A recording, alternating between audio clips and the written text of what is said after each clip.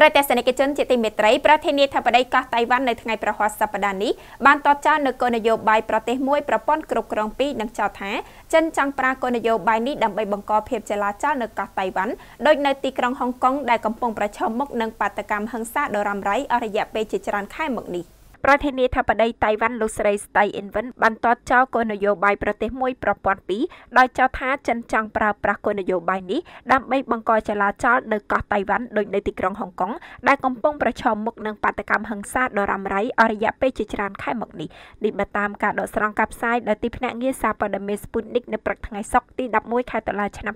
2019ការកាត់សម្គាល់ខាងលើរបស់លោកស្រីស្តៃអ៊ីនវិនធ្វើឡើងនៅថ្ងៃប្រហ័សសប្តាហ៍នេះចំថ្ងៃបុណ្យជាតិរបស់កោះតៃវ៉ាន់ហើយលោកស្រីផ្ទាល់ក៏បានសន្យានៅមុនការបោះឆ្នោតសកលមកដល់ផងដែរថានឹងការពីបូរណភាពទឹកដីនិងប្រជាធិបតេយ្យរបស់កោះតៃវ៉ាន់ប្រឈមមុខនឹងការគំរាមកំហែងពីសំណាក់មហាយៈចិនលោកស្រីស្តៃបានគូបញ្ជាក់ដូចនេះថាចិននៅតែគំរាមកំហែងនិងបង្ខំឲ្យតៃវ៉ាន់ដើរតាមគោលនយោបាយប្រទេសមួយប្រព័ន្ធពីរហើយនៅពេលដែលសេរីភាពនិងប្រជាធិបតេយ្យត្រូវបានគំរាមកំហែងយើងចាំបាច់ត្រូវតែងើបឈរឡើងដើម្បីការពារខ្លួនដូច្នេះប្រជាជនតៃវ៉ាន់23លាននាក់មិនអាចទទួលយកបានឡើយគោលនយោបាយប្រទេសមួយប្រព័ន្ធពីរព្រោះវាអាចនឹងគំរាមកំហែងដល់សន្តិភាពនិងស្ថិរភាពនៅក្នុងតំបន់ជាពិសេសគឺភាពចលាចលដែលកំពុងតែកើតឡើងនៅក្នុងទីក្រុងហុងកុងគួរជំរាបថាតៃវ៉ាន់នៅថ្ងៃប្រហ័សសប្តាហ៍នេះបានប្រារព្ធបុណ្យជារំលឹកដល់ការចាប់ផ្ដើមធ្វើបដិវត្តនៅឆ្នាំ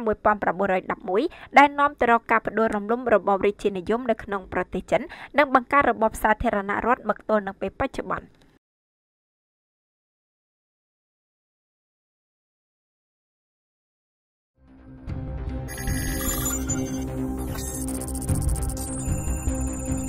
លោកអ្នកកំពុងស្វែងរកលំនៅឋានដែលមានតម្លៃទាបសមរម្យសំណង់រឹងមាំក្នុងក្រុងមែនទេដូច្នេះលោកអ្នកមានជំរឿក្នុងការទិញដើម្បីរស់នៅផងនិងអាចទទួលបានចំណេញផងនោះគឺបូរីលេងនវត្រាអាចបំពេញបំណងលោកអ្នកបានដោយទីតាំងស្ថិតនៅជិតផ្លូវវែងស្រេងចេញពីស្តុបណតព្រីទូរទស្សន៍អាស៊ីអាគ្នេយ៍ត្រឹមតែ4គីឡូម៉ែត្រប៉ុណ្ណោះហើយជាតំបន់មាសមានការអភិវឌ្ឍស្រាប់លក្ខណៈអន្តរជាតិ